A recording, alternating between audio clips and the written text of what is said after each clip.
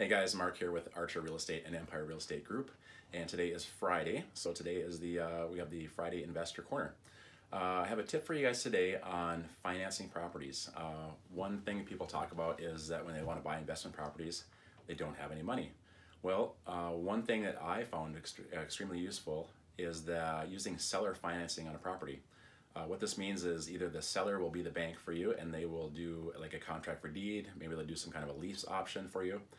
And uh, so what you're doing is you're buying the property uh, with their terms, you know, negotiated terms, and uh, using their money instead of the bank's money. And then basically what you do is re-rent the property or sell it and, you know, refinance it uh, with seller financing yourself. And anything that you make above and beyond what is a payment to the seller of the house originally is profit for you. So also, even if you need down payment money, sometimes the seller will do a second uh, mortgage there on the, on the down payment money as well. So yeah, just uh, because you don't have money from a bank or from yourself doesn't mean you can't buy a property. I always ask a seller of a property first if they are willing to finance the property themselves. So that's my tip for the day. Um, if it's a good enough deal, you should be able to find some way to finance it, but one option is to use seller financing. Have a great weekend.